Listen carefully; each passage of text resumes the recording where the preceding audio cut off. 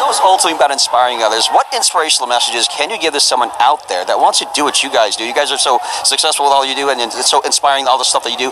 What inspirational messages can you give to someone out there that wants to do what you guys do, or just follow their dreams in general? Well, what's great about the movie that Jeff and Mike Rianda made is it's full of subliminal messages to kids to encourage them to become artists. So my advice personally is don't ask for permission. Start making things. It doesn't matter if they're good. It's just important that you make them. Piggyback on that. Uh, no, exactly. Like, don't don't uh, don't let anybody tell you no. Keep uh, uh keep pushing and and worry about. Uh, making yourself happy more so than uh, I mean care about the audience too but you know make make the art that you would want to see up on a screen that you would be excited about and I think that's half the battle